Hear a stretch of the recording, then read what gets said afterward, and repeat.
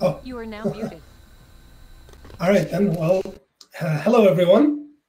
I hope uh, you're all enjoying uh, Emacs Conf. Uh, my name is Musa Al-hassy, and uh, I hope you're uh, excited to learn about uh, powering up uh, special blocks. Um, so let's let's first off uh, find out what these special blocks are and, and see what we can go from. So uh, yesterday I saw a lot of uh, cool talks and uh, people were chatting about how do you, you know, how, how should you present? Should you do it this way or that way? And I thought maybe I should try a different way. Uh, but, but I'm talking about special blocks. And if I show you an Emacs, then I have to uh, export the HTML so you can see what it looks like, or export to a PDF so you can see what it looks like. Uh, so I ended up writing an org reveal, and uh, uh, joyously, this this just works. You, you, can you can just see things here. Uh, I was worried that I'd have to take pictures and and you know uh, uh, you know insert pings. So that that was a delight. Okay.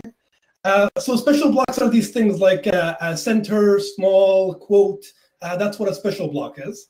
And with a bit of Lisp, we can we can make special blocks and link types. Right. So using a single interface.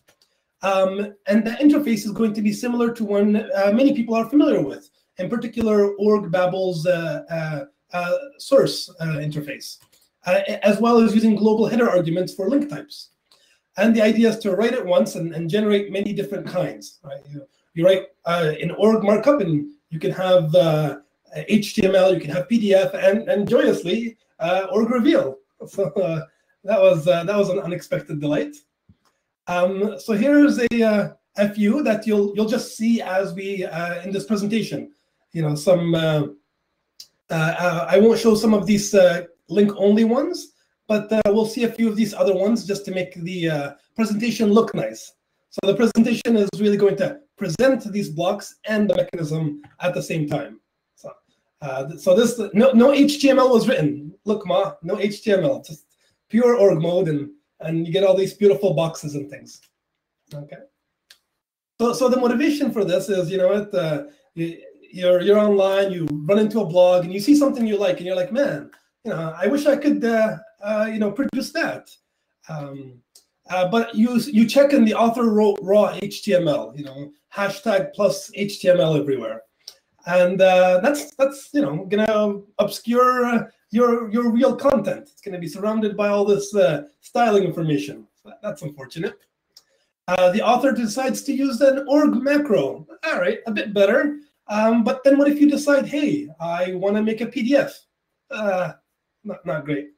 And then the worst of all, the author doesn't give you the source. And then you have to view page source and learn cascading style sheets and, and, and you know, sit in a corner and cry and decide to do other things with your life. So uh, we want to give org users numerous styles and uh, and an extensible mechanism to add more of these aesthetically pleasing styles. You know, to, to have really nice things uh, look one way in the HTML uh, and look almost the same way in the PDF and other uh, backends. And if by having these newer ones, you know, people might be encouraged to try making new ones, especially when the interface is uh, not so difficult. Uh, that's the uh, that's the aim. Okay. Uh, so let's let's have a, a, a real story to, to, motivate this even more. Um, so here's three friends. Uh, I hope I don't butcher their names, but these friends are called Amin, Sacha, and Corwin, and, and they're organizing a conference. Uh, Emacs Conf 2020. Uh, so Sacha decides to write an org file, and, and she would like some feedback. Okay. And, and just to make it clear, there's no, uh, just how uh, easy this looks, let's look at the source for this uh, block. Uh, notice it's just the word green, then a colon, then Amin. Uh, so no, uh, no div style coloring, just, just you know, green colon Amin. A very pleasant org markup. So that's that's quite nice. Put some bold around it. not not too difficult. So hopefully uh, this will be useful to other people as well. So what kind of feedback uh, would uh, Sacha uh, expect to get? Um, so maybe she would expect top level remarks. visible in the export. You know, when she makes an HTML, she can see right there a big block, right? Um, uh, maybe uh, Amin will suggest to Sacha, please replace this part with this other part, or replace this word with this other word, right? Um, this is not really possible with raw HTML or, or uh, yeah, or with even LaTeX, you, you'd have to have multiple arguments. The first argument and then the replacement argument, and it's a it's a bit clunky. Um, but with our setup, you just write some text, write hashtag plus replace with, and then write more text, and you're good to go. Normal uh, org markup. Um, everyone speaks different languages. Maybe they want to use a, a, one word, or, or so they're, they're, arguing about whether we talk about frames or windows. Um, so maybe they want to have some translations, right? So there's different kinds of feedbacks. Uh, let's let's take an example. Uh, uh look look at what they are. Okay. Uh, so uh, for example, Sacha might write uh, this org mode right here, and and and then in her HTML export, she might see this.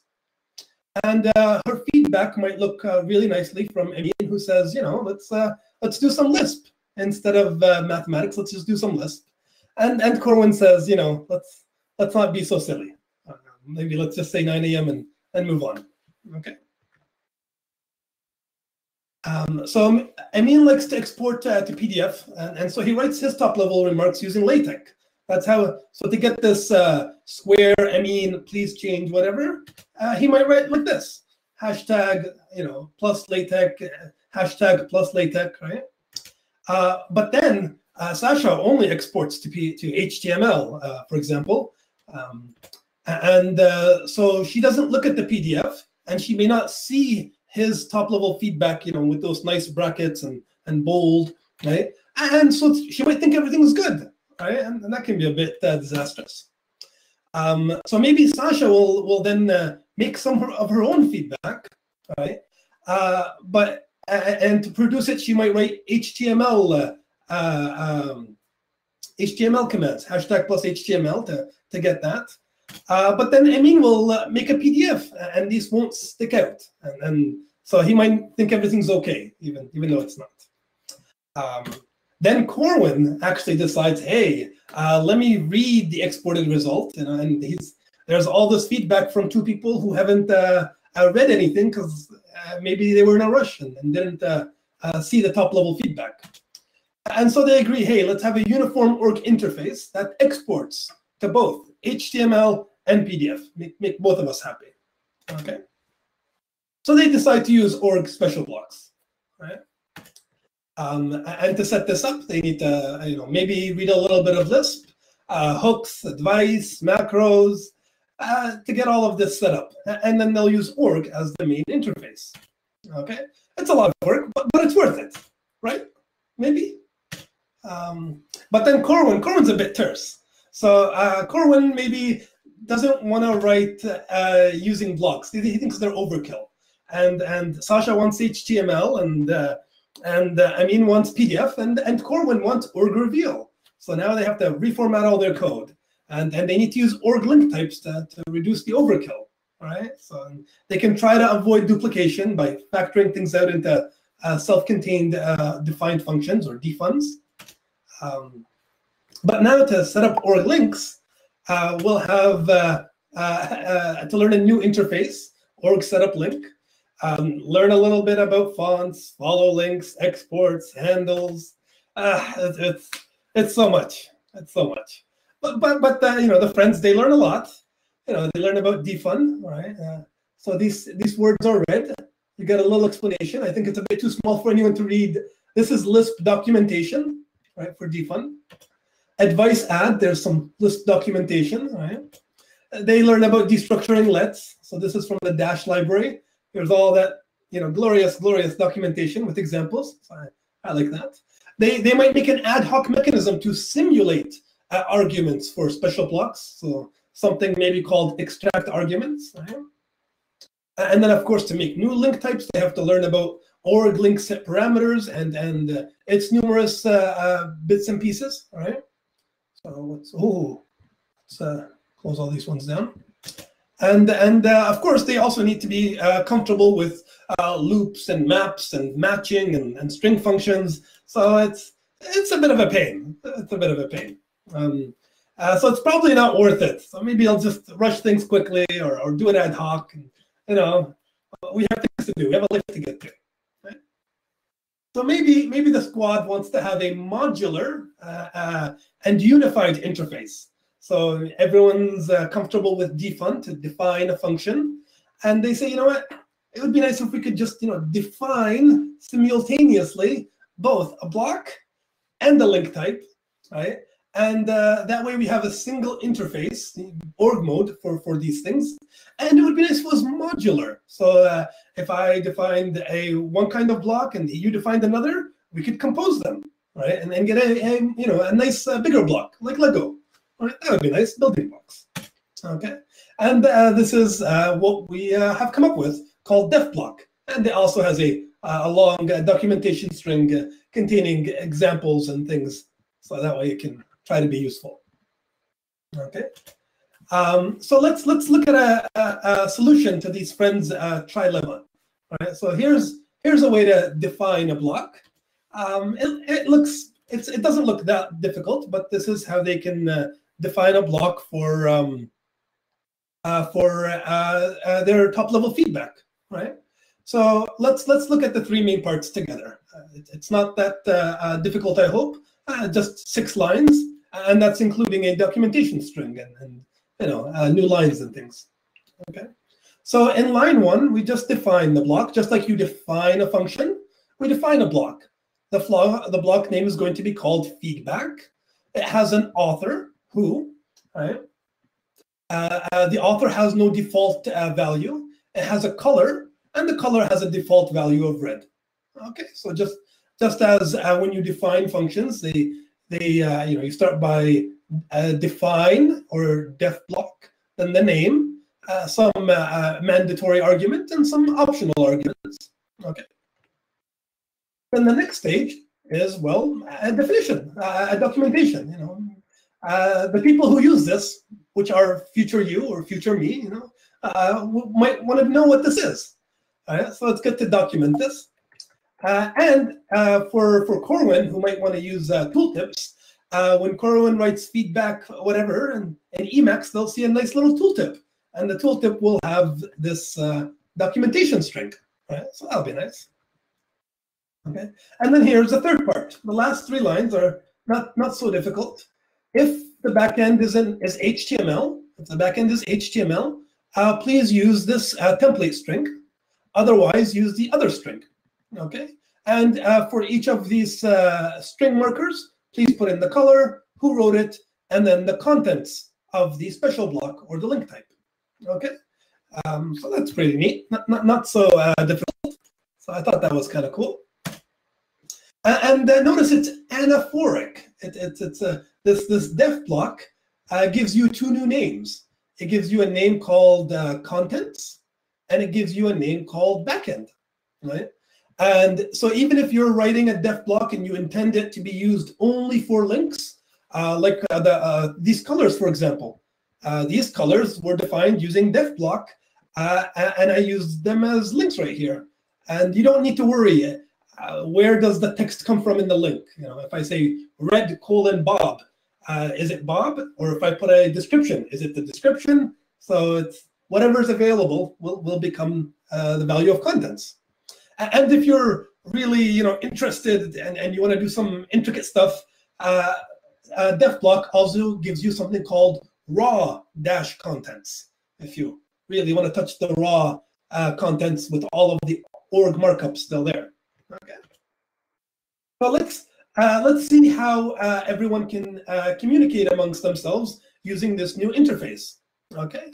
So uh, uh, Sacha speculates and she, how does she speculate for her org in HTML? She might just write, hey, look at that. No, no, no HTML. Nice. And and uh, Amin wants to have some green, and so he just says, hey, here's some color green, and and uh, there you go. It looks almost the same, right? Uh, notice that the main argument is right here. Def block took an author, and here's the author again. And now the optional argument uses the uh, org Babel source interface. You just say colon and, and then a key and then uh, the argument. Quite quite nice.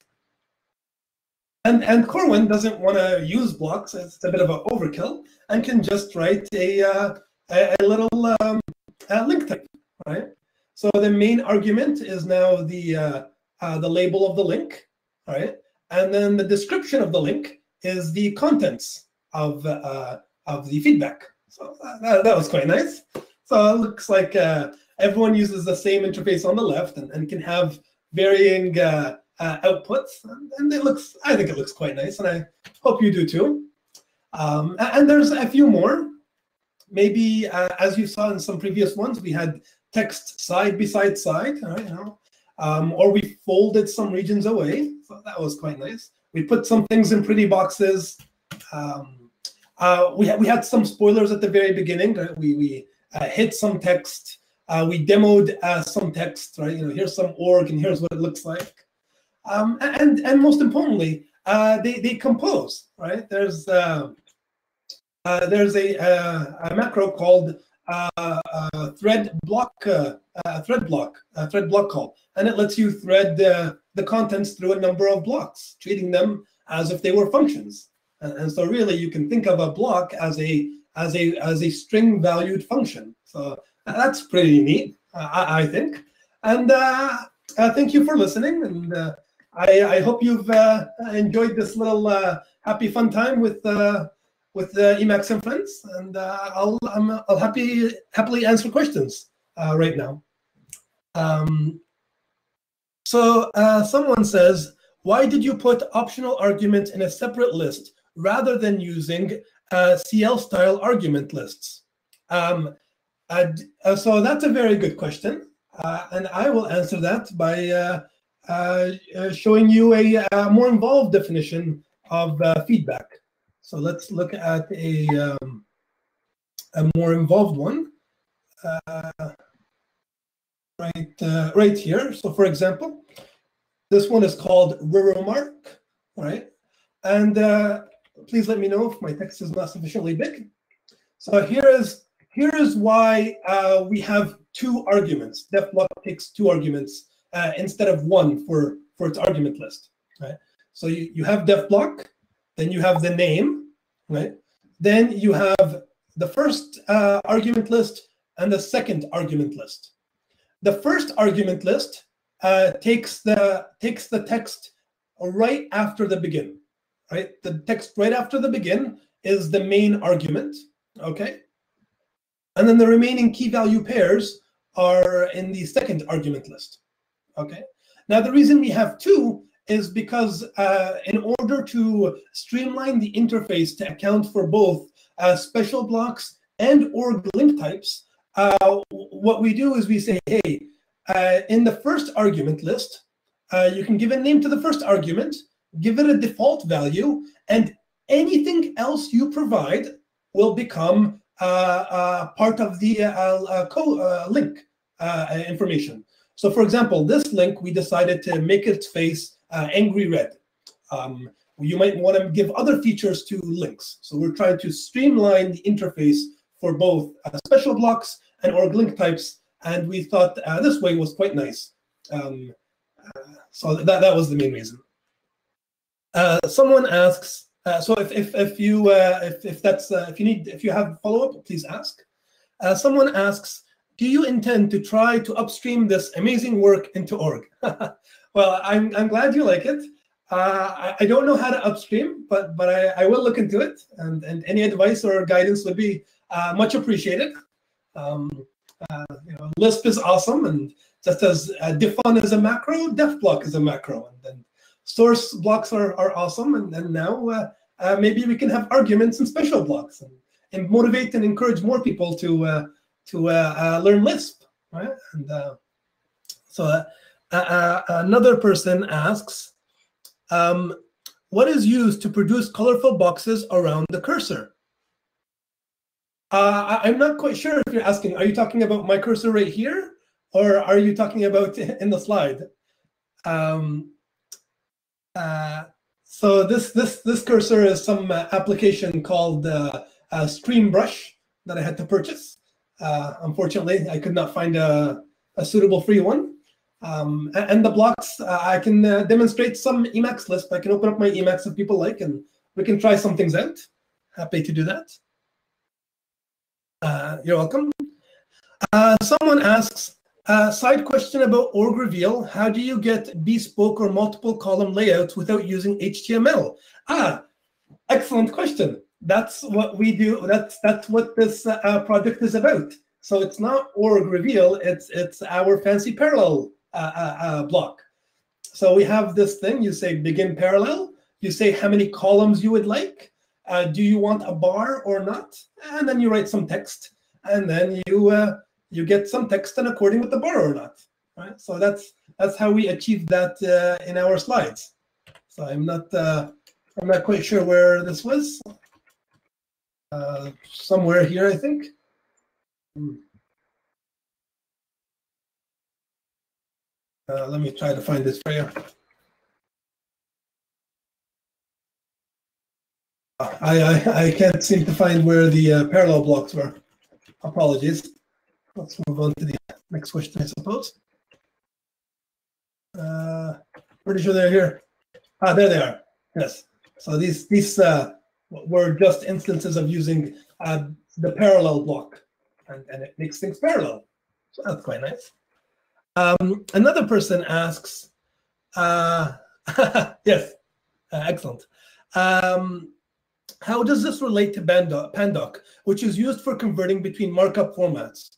So all, all we're doing is, is we're, we're saying, hey, please write org because org is just fantastic and we love it and it's the dream. And if you would like to view things in HTML or in org reveal or in PDF, that's up to the user. So here is a, um, oh, uh, made it too small now. So here is a, a an example. So here's an, uh, how here's how parallel is implemented. Uh, just as a quick example. Uh, not too long. uh, about half of the implementation is documentation. So hopefully that speaks for, for how useful this, this feature is. So we decide if there's a rule or not. Um, we look for the column break. And really, here we're looking at the backend. If the backend is LaTeX, uh, please use this uh, incantation with uh, multi-columns, mini pages, what have you. And if the backend is something else, please uh, do this uh, div and, and style and, and other gibberish that we don't really want to look at.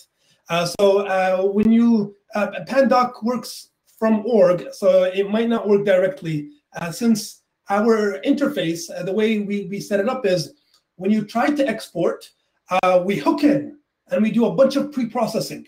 So this this uh, def block is a is a is a string valued function, and so whenever we see these um, uh, begin uh, parallel, uh, when you do an export, I tell Emacs, hold up, look for those begin parallels, please. Oh, you found them? Grab that text. You grabbed it? Great. Now please apply this person's uh, function onto that text and splice in the result. Okay. So so when you export, uh, we're performing arbitrary computations on your uh, uh, on your text. so uh, um, uh, some people might not find that comforting to, to have arbitrary uh, computations happening. So, so, in this article, there's a few where uh, we change your text upon export, we, we translate it, we, we do other things to it.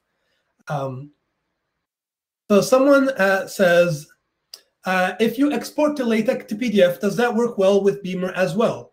to create slides with columns, for example, uh, for for uh, um, so uh, actually, uh, so uh, I, I made a bunch of these changes earlier this morning, and it just says LaTeX right here. Um, so if you want to go to Beamer, I think the backend for me Beamer is called well Beamer. So instead of a, a, a pcase, what we would do is we would say, oh, if it's a, a LaTeX or it's a Beamer, then uh, use this. Uh, otherwise, uh, it's not a LaTeX. It will simply default to this one, uh, Uh, which could be uh, dangerous for your needs. Um, I think it's a, a, bad practice to put a uh, underscore, but I did it really quickly because I just wanted to show you that it works fine in uh, org reveal. Um, contributions are more than welcome. I, I happily would love any assistance. Um, and and I've a uh, we have a, a, Lisp reference cheat sheet here to to learn a little bit about Lisp if you're not comfortable or, or to uh, ask some questions. Um, lots of helpful people. Um, so there's another question that says, uh, does typing in a block mess up with syntax highlighting?